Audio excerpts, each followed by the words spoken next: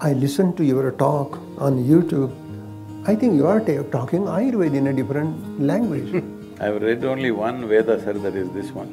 Inner exploration is very important. That is the place where Ayurveda is born. Hmm?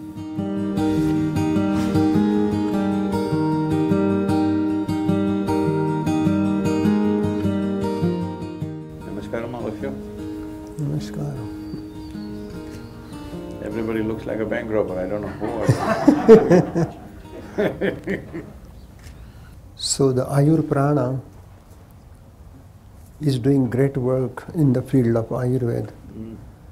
They create Ayurvedic herbal product. We bring raw material from India, organically grown, no chemical pesticides, no chemical fertilizer. Then we test it here, see that there are no toxic heavy metals, arsenic, mercury, lead. And such a good work. They create, they create churna, which is powder form, siddha tailam, medicated oil, siddha ghrutam, medicated ghee, gutika, vatika, tablet. And boy, this Banyan botanical and Ayur Prana, they are doing very good work in the field of Ayurveda. Mm-hmm. And so that Ayurveda is becoming quite popular in the Western world, both in America, England, Germany. An amazing thing, there is so much hunger for Ayurvedic clinical approach. So I teach them Nadi Pariksha. And in Nadi Pariksha, the basic Manduka Gati, Sarpa Gati, Lavaka Gati, Tittira Gati, Hamsa Gati, different Gatis are there. And with the grace of God, I am a good artist. I draw the picture of the pulse, how it looks. And we are doing uh, webinars. And each Friday, some new subject, new topic that how to determine Prakruti through the pulse, how to do the assessment of Vikruti, the present altered status of the dosha. Then through the pulse we can understand the Manas Prakruti, Manas Vikruti, sub-doshas, Pranavyan, Udan, Saman, all these sub-doshas. And boy, there is so much demand, people love that. And to teach this subject in zooming or on zooming is quite an art. We have two, three cameras where I go near the camera and I just say this is Vata Pigam, Adya Madhya Antya Nadi. Adya Nadi, Vata, Madhya Nadi, Pitta, Antya Nadi, Kapha. And then slowly the spike under each finger, Vata Pitta Kapha, Vata Pitta Kapha.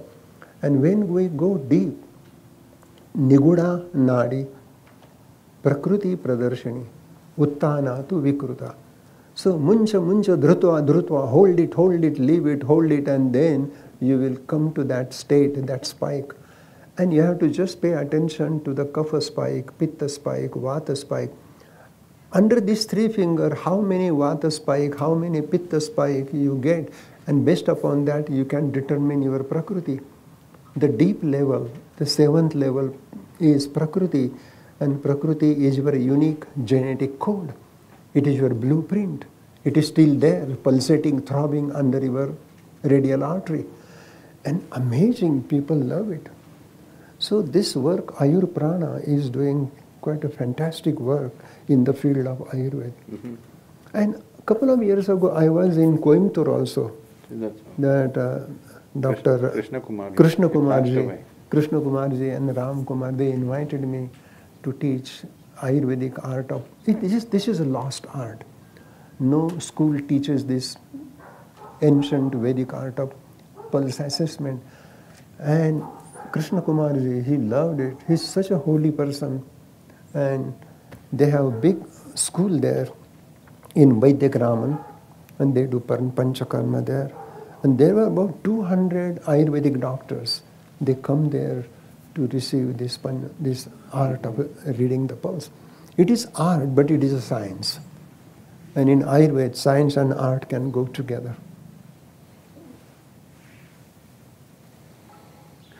It is just that uh, everything uh, is put through the same microscope today. Correct.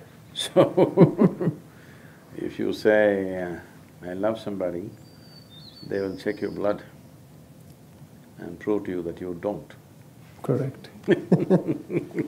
So, all the subtler aspects of life, uh, well,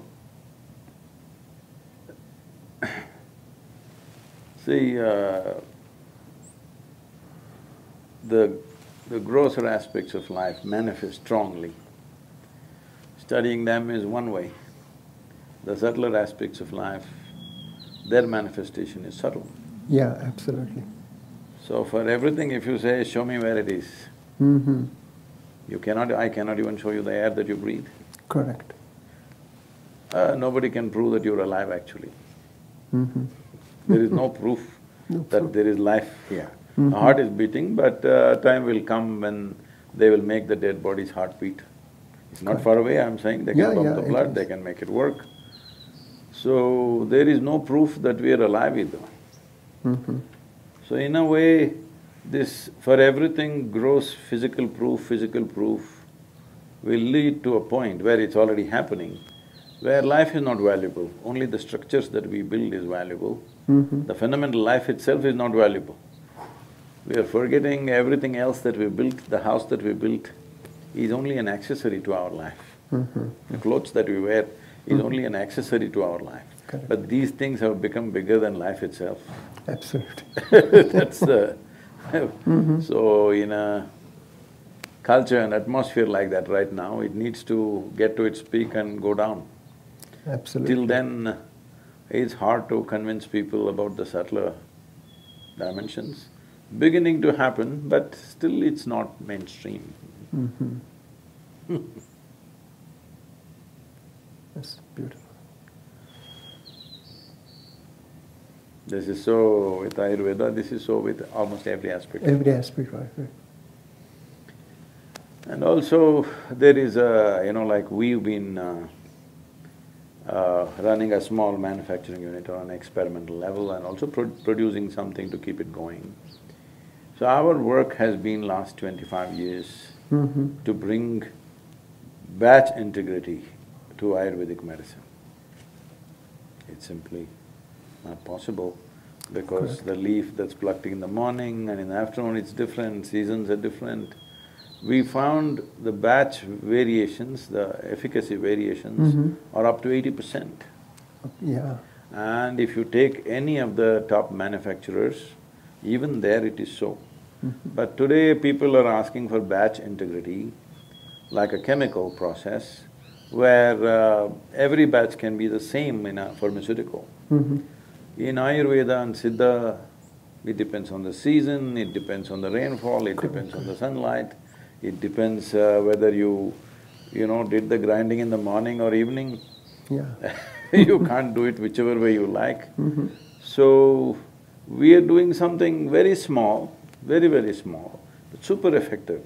But when we try to expand it, it loses its uh, Correct, yeah. thing. So we kept it very, very small. Now there is work going on to build a twelve hundred bed uh, integrated hospital, Mhm. which has both allopathy and this, because uh, otherwise, I find uh, See, today a whole lot of things are because of uh, proximity of living populations in cities. Most people, as they're suffering chronic ailments, along with that they have parallel infectious uh, Correct, issues. If they are not dealt with, Ayurveda can deal with chronic aspects, something that happens within yeah. the body. But where, uh, you know, an external inv- invasion has happened, you need some chemical warfare. Correct, correct, of course. So trying to bring uh, this thing, we calling this as uh, integrated health solutions, where Siddha, Ayurveda, allopathy, Unani and uh, naturopathy and yoga yeah, all yoga. mixed together according to each person mixing it in the right context. It works well, but at the same time, today we expect everything to become a, like a concrete science, this is it, this is it. It doesn't work like that, you have to observe, you have to… You cannot uh, get… you know, right now we are working towards that we can get treated on the Zoom or we can get treated by a phone. Correct. You know, all diagnosis will be done by your phone after some time, that's where we're going. That will not be possible because this needs a certain level of observation. Each person responds to these things differently. Above all, it takes involvement.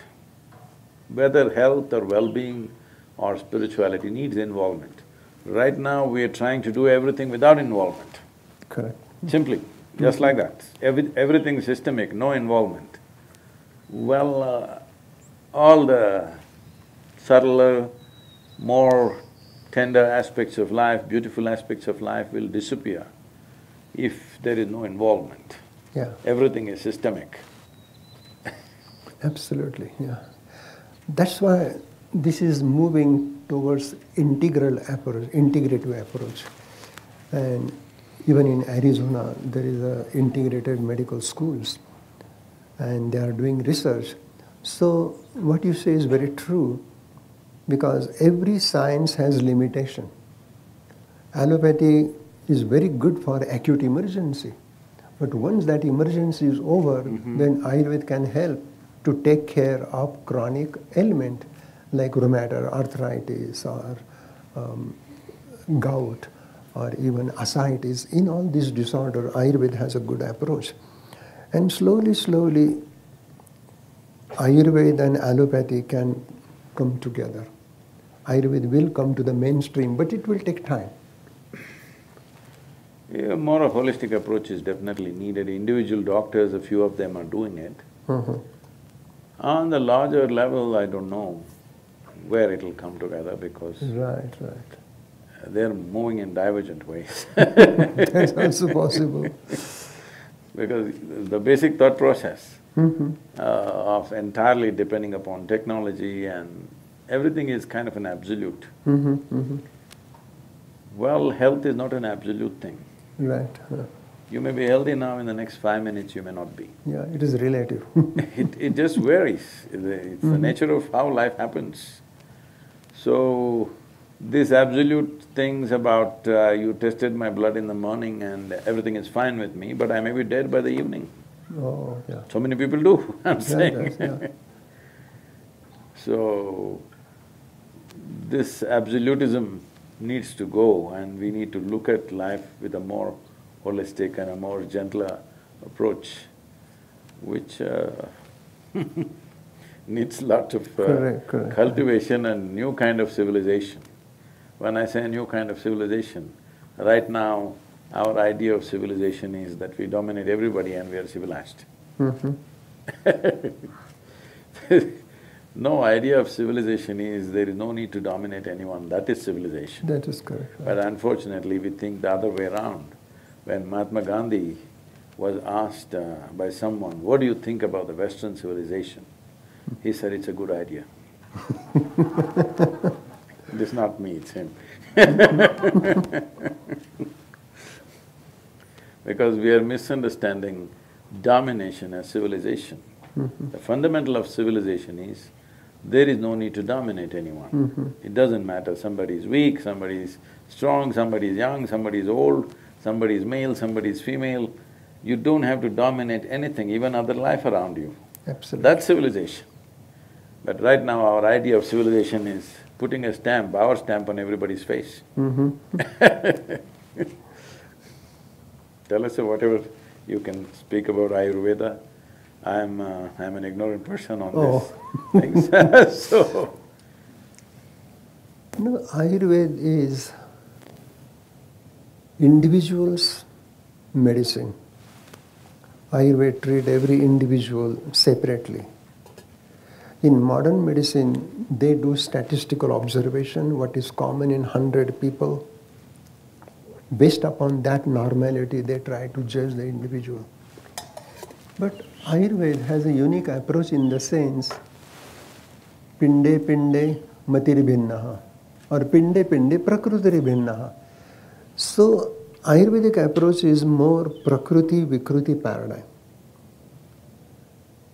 Perhaps one person will handle aspirin because he is kapha, but pitta person will be very super sensitive to the aspirin, it can create severe reaction.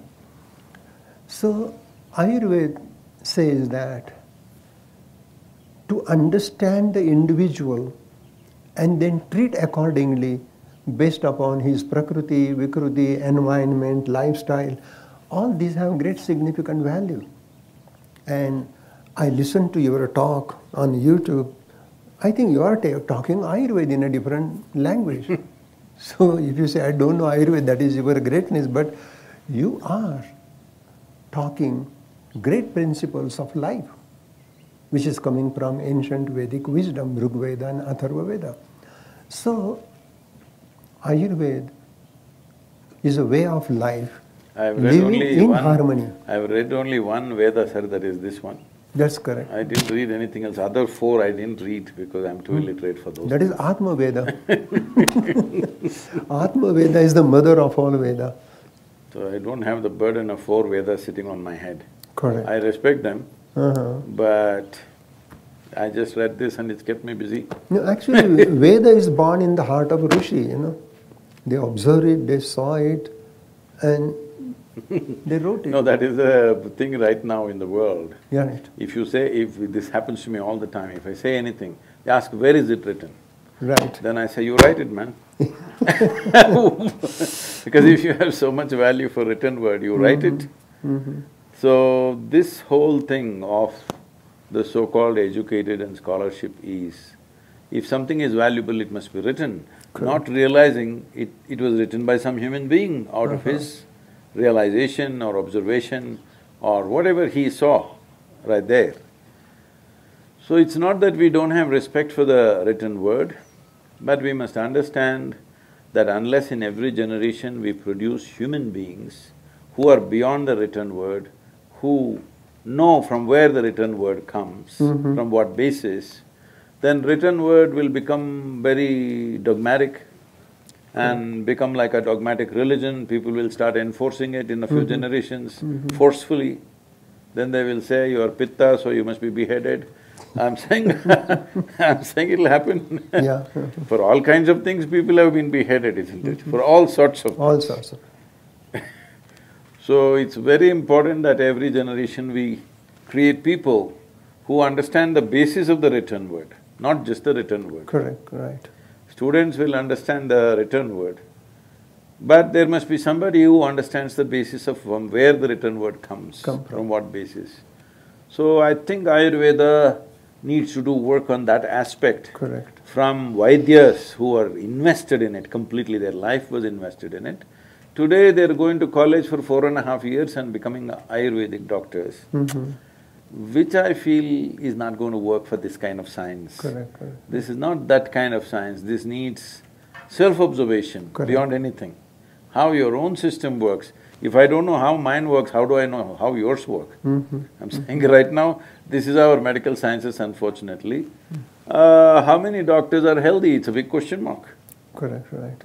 So, uh, it's very, very important that there has to be a certain, at least a small percentage of people in every generation who know the basis of the written word. Mhm. Otherwise, just the written word will create a dogmatic Correct. process that it'll no more be a science, it'll become like religion. Correct, right. What I say is right. If you don't uh, agree to what I say, you must either die or you must disappear. This this has been the approach unfortunately. so producing those people, people like you with experience, in some way you must uh, inspire people not just to become teachers, instructors, practitioners, but to imbibe Yeah. the fundamentals. So that is also basic concept of Ayurveda, to know yourself, what you are. Self-knowing is the foundation of life. If I don't know myself, what is my prakriti, what is my vikruti, how thinking happen, how reaction comes, how emotion take place, this whole inner inquiry, inner exploration is very important. That is the place where Ayurveda is born. Mm. Hmm? How will you live long if you don't know how to think and feel? Absolutely. Mhm. People are thinking themselves to death. Uh, They're not working themselves to death. Most of them are thinking themselves to death. Correct. We are really happy in my, I'm from Maharashtra Mhm. and my mother tongue is Marathi. And in Marathi there is a saying, Sant eti ghara, tochi Diwali ani Dasra. Means when saintly person like you come home, that is really Diwali. And this Dasera, is a Diwali, said. they, they have You said celebrated Dasera, right now Diwali. it's Dasera only. Yeah, Dashara. Dashara. Because this Diwali and Dashara, the ten doors of perception, Pancha Jnanendriya, Pancha Karmendriya, and all these sensory perception, motor action, if we bring harmony in that, it is really that Dashara. And Diwali is the festival of light. And you are the light, and light is within you. So, in that way, such a highly enlightened Guruji, Sadhguruji is here. So, it is truly Diwali and Dasara. Because Dasara brings Diwali. So, thank you, dear. You have done wonderful thing. I'm this. from… I'm from Mysore, I Mm-hmm. just forgot to bring my elephants. Dasara is a big event in Big Mysore event, city. right. Mhm. You know, it's uh, every year, just going and gathering there for that procession and then Mhm. so many things happening. I must uh, tell you, I've…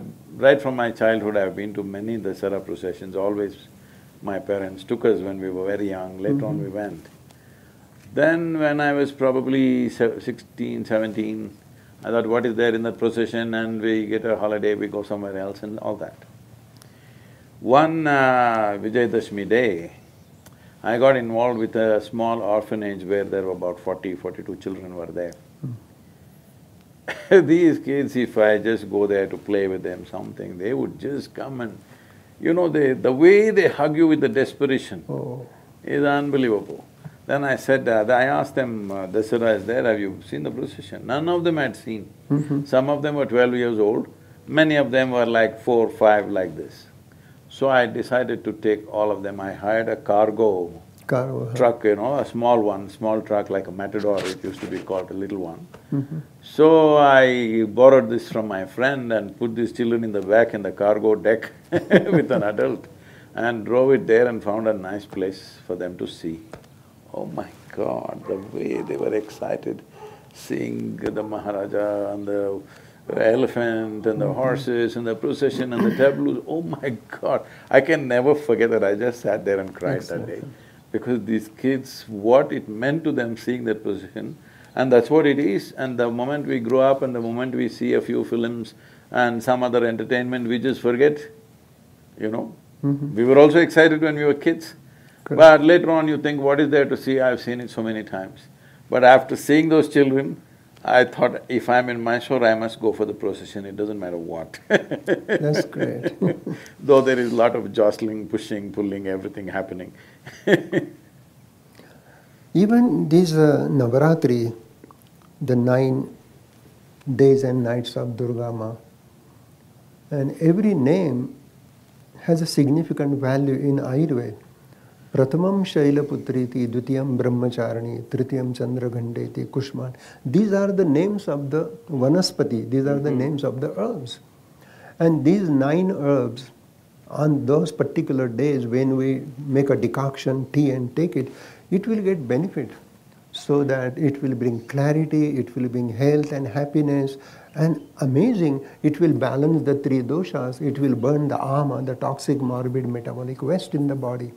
So Ayurveda is totally percolated in every so-called ritualistic event. No, it kind of merged with the culture. Yeah, This yeah, is the it whole thing. yeah. Medicine was not about one doctor knowing Correct. about It is a It's whole about culture. everybody knowing what to do about themselves. Mhm. As a part of this, we created herbal gardens in uh, over a hundred, over a hundred and twenty-three villages, Mhm. herbal gardens. Mhm. Somebody donated a piece of land and we grow about hundred and eight varieties of herbs and in that village we teach them how to use it. How to use Anybody can go and pluck for their use. Mhm. They can't take it in a bag and go, but they can pluck for their use.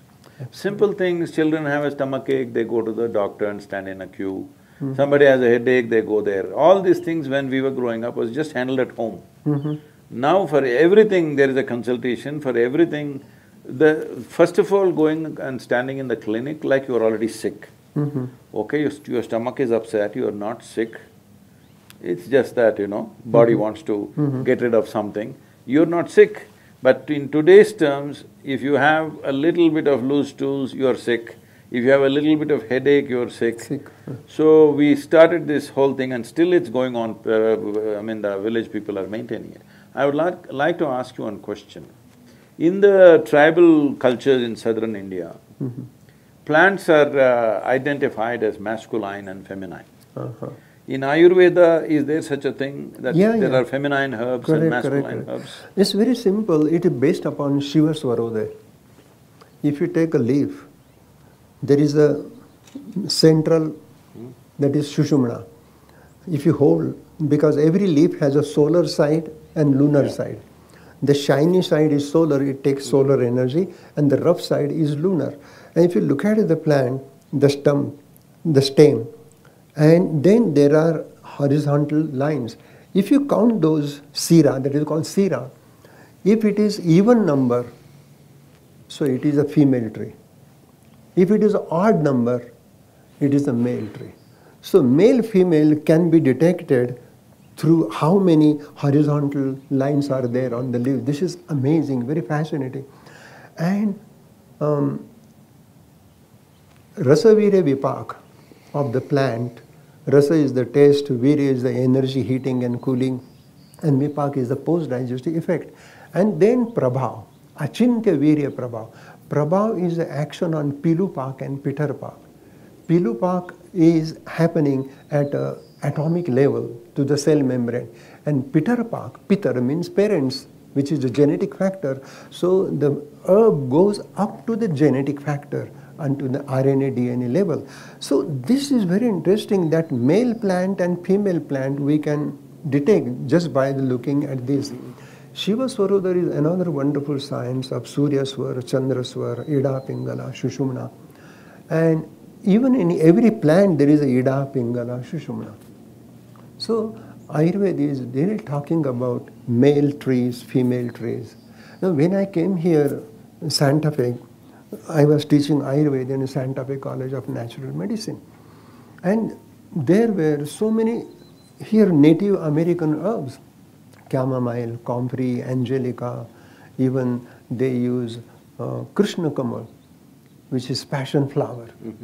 And uh, passion flower is good for high blood pressure. And there is a Hathon Bedi. So we studied, and I wrote a book with um, one of my friend and student, Dr. David Frawley, and we worked together. And that book is Mm, I know Dr. Frawley, we've had yeah, yeah. So we were working together in Santa Fe, and that book, uh, we have explained Ayurvedic herbs and Native Indian American herb, and they have incredible healing power. But we study them through Ayurvedic basic principles of Rasa, Virya, Vipak, and Prabha, and that book is very popular now here. So, um, male and female energy, Shiva Shakti, Purush Prakriti, Yin Yang, Ida Pingala, it is there in the plant. So how uh, evolved is this herbal treatments in among the Navajo people, for example? Uh-huh. How evolved is their treatments of herbal? Yeah, they, Medicines. these are now people, they do the pestle and mortar and they collect the herb and they grind it and make a decoction, make a juice or make a tea, herbal tea. but they have very spiritual ceremony. And they, they make a fire ceremony and they bring the herb and they use the herb. So their approach is very spiritual. And along the same line, there is a great spirituality in Ayurveda also.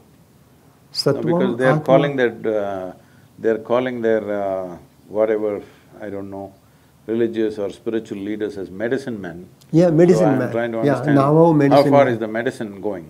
Yeah, in medicine man, they, they are doing that work. And in a group healing, they are doing also uh, in a tent, they, they call tipi, and they make a fire ceremony. And the medicine man comes, there is a pipe ceremony, they, they smoke some herbs, and they get intoxicated. It is like peyote, something like that. and it is so spiritual, but then it become very square because they don't have the logic how it works. And Ayurveda has a logic, plus Ayurveda has Sattvam, Atma, Sharirancha, both. No, Ayurveda is from a tropical nation, Yeah, tropical land where there are uh, hundreds of herbs. herbs are Here there. it's a very meager limited. what's huh? Yeah, yeah. So that's why I'm, I know they they have that spirit, spiritual side, hallucinogenic side, all that. Mhm. But in terms of actual medicine, uh, how many herbs are there? Is it reasonably substantial?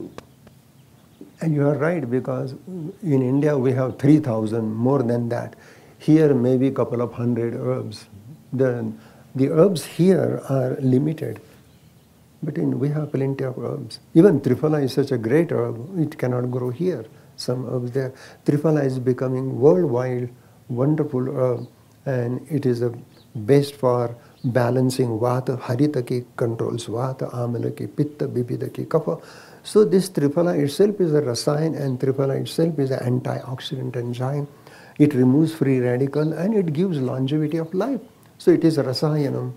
So there are that much rasayana herbs may not be here No, they're definitely not there. No, no. Except in a tropical nation. in a tropical nation. It, right? it is not available. Even among tropical climates, probably nowhere else there are as many herbs as there are in India because Correct, correct. We have for whatever reason, uh, Uh-huh. I mean, I have not found a, a logical or a scientific reason for this, but a handful of uh, soil in southern India Mhm.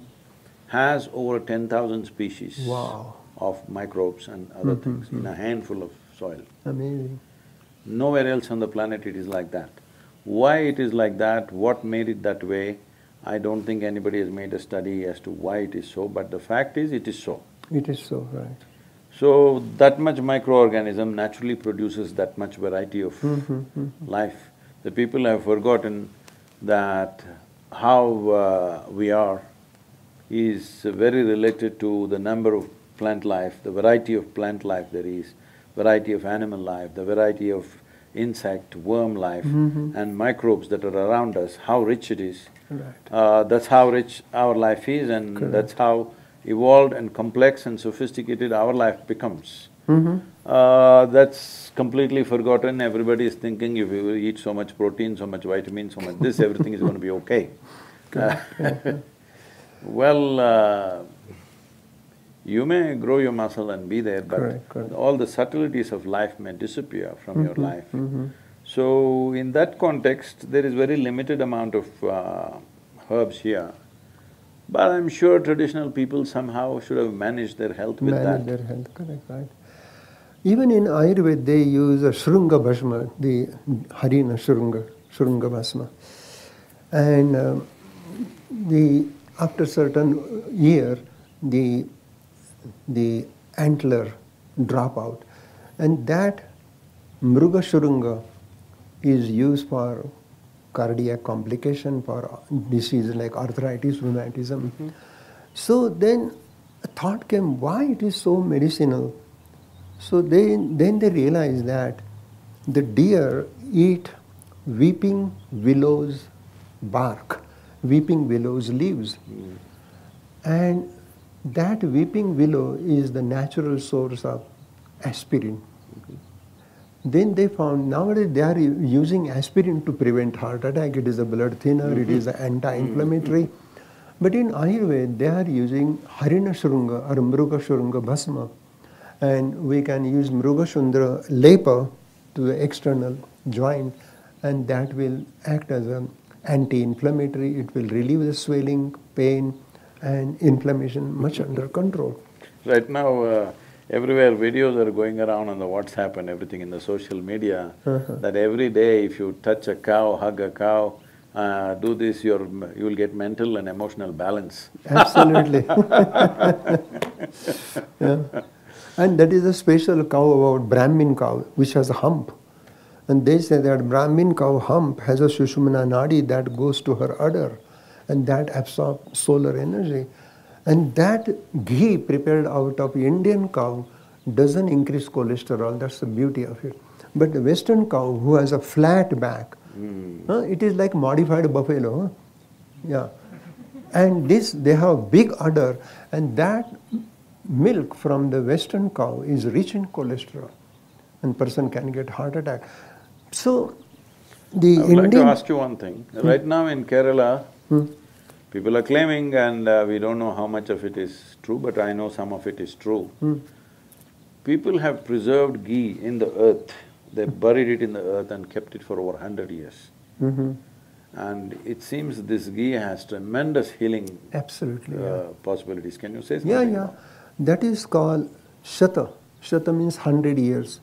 Shata Varsha, Shata Samvatsaram Ghritam means the ghee is buried in a clay pot into the soil, hundred years. Because when ghee is staying in the soil for hundred years, that much long time, some molecular changes happen within the ghee. And that ghee is rich in ojas. It is rich in tejas mm-hmm. and it is rich in prana. Because ultimately the pure essence of vata dosha is prana, pure essence of pitta is tejas, and kapha is ojas. And at cellular level, ojas, tejas, prana, they maintain cellular metabolic activity, cellular intelligence, and flow of communication. Prana is a flow of communication. So at cellular level, Ojas, Tejas, Pran, they are operating and enhancing the cellular life. So this hundred years old ghee, Purana Ghritam, is the best medicine for eczema, psoriasis, even if you take internally, it can heal peptic ulcer, ulcerative colitis, IBS, irritable bowel syndrome, many disorders, even autoimmune diseases. This Purana Ghritam is Sreshtam, Ojas Karamparam. So this purports, promotes Ojas. Is there any parallel in the medical sciences for Tejas and Ojas? Prana, they're beginning to recognize kind of. Correct, correct. You know, very good question. Prana is a, your neuroelectrical impulse, your, your neuroelectricity. But Tejas is nothing but certain kind of amino acid. They work at the level of cell membrane, at the level of RNA, DNA. They are Tejas. And Ojas is the immune system. So, Ojas, Tejas, Pran, these are three important factors. They maintain the life of a single cell. The single cell can live longer. And that's the beauty. But there is no parallel. One thing is there when liver destroys the old red blood cell and out of destruction of RBC, the hemoglobin comes out and the heme is separated and globin part is ojas in the liver. That's why doctor give gamma globulin shot to prevent hepatitis. So that globulin is a very special protein, maybe resembling to the ojas. Tejas is amino acid, liver enzyme, because liver is a seat of um, five bhutagni. Every ether, air, fire, water, earth has a agni component. Nabasa agni, the agni component of space. Vayave agni, the agni component of air, which really absorb the gaseous exchange happen because of that. Tejo agni, which is responsible for cellular metabolic activity. And Apo agni, which maintain plasma serum and Parthiva Agni is a mineral, calcium, magnesium, zinc. So, exactly when we study modern medicine and Ayurveda concurrently and inherently, then we will understand which part is prana, which part is tejas, and which part is ojas. In the yogic sciences, generally, ojas is seen as a non-physical dimension of energy. Mhm. If you… Uh, because everything physical has come from the non-physical. Mhm, mhm. If you create a cocoon of non-physical dimension of energy, cocoon does not mean like this. Right. On the cellular level, every cell has a, a little bit of non-physical dimension Correct. a wrap around itself. That cell will continuously regenerate itself Mhm. at a pace that is considered miraculous. Correct, correct. Well, your recovery from anything, injury or di- any ailment will be like that. Above all, first of all, you don't get sick enough to be called sick, Mhm, mhm. depending on uh, how violently you live. right, right. When I say how violently, Uh, see, you're living a nice peaceful life, I live a violent life, I'm on full speed on a motorcycle So, my life is seven days of the week, 365 days, there's no day, there's no night. You know, sometimes it's twenty-four hours work, other days it's 18, 20 hours of work. It's a violent life. But still I have not cancelled a single event because I am not well. Such a thing has not happened in the last thirty-nine years. No, what you say, very beautiful. a certain yeah. amount of ojas kind of puts you back always, it doesn't matter. It's not that I have not been unwell, well, I caught flu, I caught this, I caught that many times. But no matter what's happening, I can still continue my activity. continue, Right. So, if uh, what you said kind of uh, interests me, that uh, ojas is that kind of energy which is not Right. physical in nature. Right, right. But we, if you are incubated in that always, if every cell is incubated in that always. Correct, correct, correct. your recovery or your Mm-hmm. ability to be beyond what physical things do to you. Mhm. Ayurveda say that uh, ojas can be measured on physical level in physical term as ojosar. Then tejas can be measured. Then there is a para ojas and upper ojas. So para is superior. Superior ojas is ashtabindvatmakam param ojam rudistitaha. So that eight drop, ashtabindvatakam ojas, the eight drop of superfine ojas that comes to the heart and that stimulate pacemaker SA node, then it stimulate to the AV node and to the bundle of His. All cardiac activity are governed by that superior ojas. Then inferior ojas is Ardha Anjali, which is half pint, and that is circulating throughout the body to maintain immunological response. But there is a Shakti Rup ojas that become aura. So if you do meditation, you are in samadhi, then that your upper ojas become para ojas, para ojas become aura. And that halo, that aura, is nothing but ojas. But the color of the aura is tejas. And pulsation of aura, vibration of aura is pran. Even at the auric level, ojas, tejas pran are operating in a subtle shakti form. But in a physical form, ojas, uh, there is ojo prakriti. And Ayurveda says the person who is very handsome, dynamic, with attractive eyes and very charming personality, when he comes, there is a whole vibration. I look like a blind man. Yeah, yeah. so that is called. So you you fall into that category. Your prakriti is ojo prakriti. So ojas is a physical thing. Ojas can be psychological thing, which is bliss, joy, happiness, and ojas can be spiritual thing, which is samadhi. So Ayurveda talks about these aspects, is it? To some extent, Charak does speak or talk about. I've always been so engaged with life, uh, I never had the patience to study anything. I'm just absolutely involved with life inside and life outside. Correct, correct, right. So I never sat down and made a study of anything. So you must tell us, sir, you spent a lifetime of study. I think your whole life is a study. Even you are driving motorbike, still you are observing, you are learning. There is no end to the study, no end to the learning. Learning is at every moment.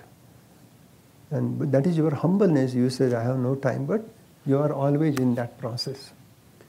So just now, uh, yesterday night, some journalist was asking me, uh, when you're writing, what are you thinking about? Are you doing this, doing that?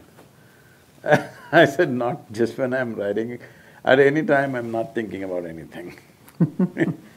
because this whole… Uh, this is a European disease that has caught the whole world, it's a pandemic. That people think human thought is more significant than human attention.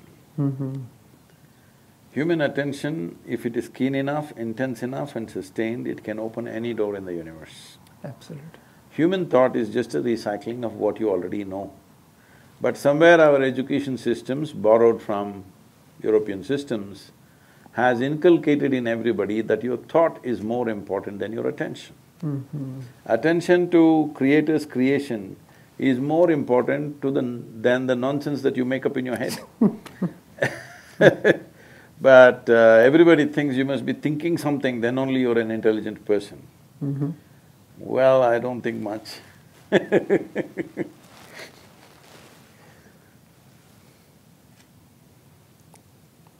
That's why my face didn't become long. Mhm. With age, people, you know, Mhm. will lose their joy and they become like this, they think they've become serious about it. Well, I think serious is… the seriousness is the worst ailment Mhm. because it's such a joke that you are here just for a few years. Before you, thousands of years people have lived here. When you're gone, uh, maybe the grass will be grateful because it's getting sustenance from you because you're buried underneath. Mhm. Otherwise, everybody will forget in a little bit of time and world will be fine without you. Correct. But everybody thinks that they have become so important in this Right. universe that uh, they become very serious. Silly little thoughts that they're creating have become bigger than the cosmos. Mhm. Mhm. So, I… I don't know, for me, life is about attention. How keenly attentive you are is how much you know of life. Mhm. Because everything that needs to be created is already created. Great. You just have to be attentive and enjoy the bounty of life that's here. Absolutely. But people are trying to make up their own little world. Their idea of a world is uh, one stupid building that they call as home and so much bank balance and uh, mm-hmm, mm-hmm. four wheels parked in front of their house which is shinier than the ne- neighbor's mm-hmm, wheels. I mean, this is their idea of creation Correct. when there is a magnificent creation all over. So this creation of my job, my family, my this, this, this keeps them busy and away from the Creator's creation, which is the worst thing that can happen to you. Absolutely. So Ayurveda, if it has to become the way of the world, in- not necessarily in the form that it's come from India, it can happen in so many different In- ways. Right, right. The fundamentals are right, but uh, how it finds expression in different societies could be different. If it has to happen, first and foremost thing that needs to happen is that there must be a significance for the creation above your own creation. Correct, correct. Mm. Till then, I don't think people will take to Ayurveda, everybody is looking for a quick fix of Mhm. some kind. Correct. And people are doing integration of Ayurveda and acupuncture, Ayurveda and chiropractic, Ayurveda and naturopath, and Ayurveda and allopath. Because Ayurveda is all inclusive and it, it doesn't mean that it belongs to India, it can belong to anywhere. So you're getting me into trouble. Hmm. When I said I said, if, you know, I, I spoke in the United Nations and I said, Hmm. if yoga is Hindu, gravity must be Christian. So, even now the people who think they're more Hindu than me are hitting me every day Oh, because they think I gave up yoga. They don't understand if it has to become universal, its identity has to rise. right, right, right. You know, when first I came, people saying, oh, this is a Hindu mm, medicine. I said, no, no. It's okay, just Yeah. well managed. Ayurveda is not only Hindu medicine, it is for every religion, it is beyond religion. See, how can science be a cultural or a religious Right, that- identity? That's It the cannot be. limitation, yeah. So goes for Ayurveda, so goes for uh, yoga. Yeah, yeah. Unless we understand this, then uh, we will keep it cloistered as we have done for thousands of years. Mhm. Why Ayurveda has not become the universal system of medicine when it was one of the oldest forms of Correct, medicine correct. with such complexity, over hundred thousand formulations. Right, Even modern pharmacopoeia doesn't have hundred thousand formulations. absolutely, yeah. But it doesn't become because uh, constipated approach, we've not stepped out and offered. So yesterday, some journalist was asking me, because every day they're, they're on social media asking me all kinds of questions. I was standing next to uh, an antique Coca-Cola vending machine, an old one which is not in use right now. I was in Sedona and I was telling uh, this person, Let's see, if you go to any Indian village ten years ago, everybody had heard the word Coca-Cola. Mm, Yeah, But most people did not know what is yoga. Indian villages I'm talking about, Uh-huh. not Native American, Indian Indian villages. Mhm. Our kind of India, I'm saying Why is it? Simply because you're constipated in your approach. Mhm. If we try to push it, you say, oh, you're marketing. If all our programs are free in the villages, but we charge in the cities, oh, your business. Ray, what's wrong with business, I'm saying? Business means somebody needs something and you decide to provide that to them. And if there is no transaction, you can't keep it going. How long will you keep it going? correct. It is not about personal profit, it is about making sure the activity is sustainable, isn't it? If I run… I did this first two and a half years when I thought, after one big experience happened, I wanted to share this. First two and a half years, I had done business for about five, five and a half years by then. First two and a half years, I spent all my savings and did programs and programs, free programs. Then I ran out of money, then I went through a struggle, what to do, should I collect money, not collect money, because always there's a tradition that, you know, spiritual process, you should not collect money. Then I saw when the fools come to program without money, they're behaving like they've gone to a cheap cinema. Mm-hmm. Halfway through, they want to get up, go out, smoke and come back. The moment you charge them, they sit there. Ah, then it has a value. Yeah, see, the unfortunate reality, they make a commitment, I will be here for these ten days or whatever. But their word has no value. The moment they pay even five thousand rupees, Mhm. they will sit there. They, So whose it. problem is it? Yours or mine, money is not my problem, it's your problem. So now we are trying to change that. It is, the most valuable thing should be well marketed. Correct, right? Whether it is spirituality, yoga, uh, Ayurveda, Siddha, Absolutely, yeah. it must be well marketed, Mhm. presented in a way that people will appreciate and embrace, Absolutely. not in some archaic way that nobody wants to do it. Your idea of spirituality is, nobody should do it. All right? some weird thing you want to say, that only some yogi who is some in some cave in Himalayas only does yoga. Nobody else does it because you presented it that way. Correct. It is very important, it is presented, if it's well presented, you call it marketing. I don't say anything wrong with marketing, it must be marketed. Right, right. If that's a word you like, we will use that word, yes, let's market it well. Let's sell it well. I never think in my mind of selling anything, but now everybody's saying, oh, this is market, this is business. No, I'm particularly consciously using the word sell. Yes, I will sell yoga. Correct. It's up to you. They're selling Coca-Cola also, carbon dioxide they're selling. You want to buy that or you want to buy this, make up your mind because your market is in your head. What can I do? The only place that you go to is a marketplace. Do you go to any other place? Hello? The only place people want to go to is a marketplace, isn't it? Marketplace, right? Shopping. Yes. So if that is the only place you go, that is the only place I can also be, Mm-hmm. unfortunately. But my mind is not market. But I'm okay, whichever way it works in the world, I'm all right with it. Because I live in the times that I live. Absolutely. I don't live at another time and be impractical about it. You know, people… Like one day I'm in Chennai, I had to speak in some conference, he's in a hotel, and somebody is driving, and this man is a very civilized driver. He's unfit to be in Chennai, I'm saying. He's driving slowly behind somebody, I said, just stop it. I made him get down, I got into the driver's seat and I did some aggressive driving. Went there because I made this commitment, I will be never late to any event. Then now, after this some terror attacks and things in every hotel in India, there is a security check at the gate. It's a meaningless nonsense mm-hmm. most of the time. They're just thinking the terrorist will get scared. There is just one tiny little barrier gate. If I have bombs loaded in my car, I will drive through the damn gate anyway, all right? That guy doesn't have a gun, that guy is not standing with a bazooka to stop me, nothing. He's just standing with uh, one mirror and uh, one whistle.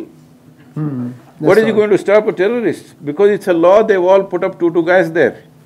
So one car went and uh, the gate was up and I bur- burst through that because I'm going to be late. They all started whistling. I went and parked there, got out of the car, ran into the hotel. I was there on time, I finished my conference and I came out after an hour. Uh, some journalists were there when I ran in. The way I blasted into the… I entered the portico maybe at 50, 60 kilometers per hour. Then when I came out, this guy is asking, in ancient times, yogis used to walk. You drive your own car, what kind of a yogi are you? Then I said, you idiot, in ancient times, everybody was walking, not just yogis. I'm saying you have this kind of things, if I must come walking, I must from Coimbatore to Chennai, if I come walking, I become a yogi. No, I become a walker. Yeah, yeah. I mean, uh, these kind of restrictions we put on ourselves and not reaching valuable sciences to the world. Can we're losing it. Losing it, yeah. It's time Ayurveda, yoga, all these very precious sciences must reach the maximum number of people. Correct. It's a very good thing that our Prime Minister pushed for it and now International Yoga Day has been declared. It is not going to achieve everything that we want, mm. but at least it's in the consciousness of the world that yoga is legal. Absolutely. in in this group, Ayur Prana, Mitesh Bhai, come on, yeah, and Sneha Ben, they have so much dedication, so much love, and they think like you. They think that we should bring Ayurveda to the front so that the whole world will listen to it. So this is a quite a work. It's a big team work, and as you say, this is an inspiration coming from your heart, and they are already doing this work. Thank you. Give them big hand. It's amazing. It's good. Uh, is uh, New Mexico made marijuana legal? Not yet. Uh, I have no idea. Is it? No. No, not yet. So I'm saying uh, marijuana, alcohol became legal, marijuana became legal, cocaine will become legal. Time we make yoga and Ayurveda legal.